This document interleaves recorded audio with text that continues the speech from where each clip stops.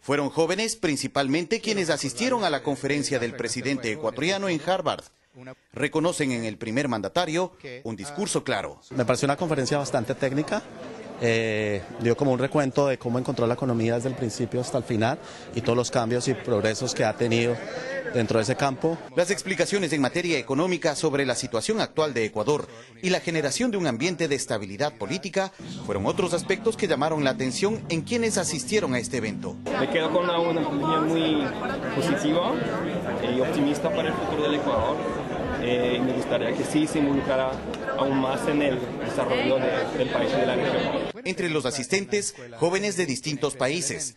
Varios aseguran sentirse identificados con la posición ideológica del jefe de Estado. Tuve la oportunidad de escuchar al presidente, se me hizo muy coherente, se me hizo que contestó las preguntas de frente, nunca le sacó la vuelta a una pregunta directa, lo cual es muy, muy valiente de su parte. Un discurso muy articulado, eh, con valores humanos eh, muy bien explicados. Y lógicamente los compatriotas que estudian en Harvard no faltaron. Destacan que es la primera ocasión en la que un presidente de Ecuador tiene una participación activa en el ámbito académico. Yo soy emocionada que él está tratando de, de luchar contra la inequalidad con la educación y con, y con el apoyo a los que nunca tenían el, el poder en Ecuador. Y al igual que esta conferencia presentada en la Escuela de Gobierno de Harvard, el presidente Rafael Correa tendrá similar participación en el estado de Connecticut durante su visita a la Universidad de Yale este miércoles.